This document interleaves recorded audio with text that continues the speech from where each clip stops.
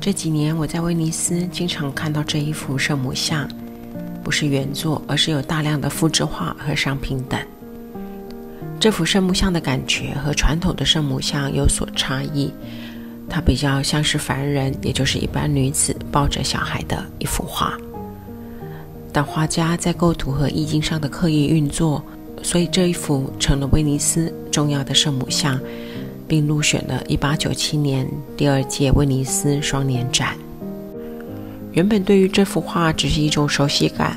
但就在今年初收藏了一座很喜欢的陶瓷雕像后，当我在网络上查作者的资料的时候，意外发现小雕像的作家 Roberto Ferrucci，昵称是 Bobo，他竟然是圣母像作家的孙子。这一个巧妙的连接让我觉得很有意思，他们的名字都叫做 Roberto Ferrucci。那我继续查下去，发现波波的儿子在威尼斯经营画廊，他的名字也是罗贝多·费尔奇。我想多了解这一个艺术家族，于是进行了采访。The last gallery I had was this gallery, Yeah. where I had my father paintings, and I had another gallery with antiques. Oh, okay. Mostly So work, yeah, mostly works of art, North Italian works of art, and painting furniture from Renaissance till 19th century. And he made, for example, this book, if I can show. Okay, sure. This was one of the books published, made the biggest retrospective made of my father works Yeah. in 2000. It's rather like a every day, so he has like a huge No, he painted more or more on the spot. So not in winter, not in autumn, not, not in spring.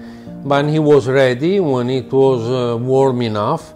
Yeah, He could paint outside on the spot because he liked to catch the true color.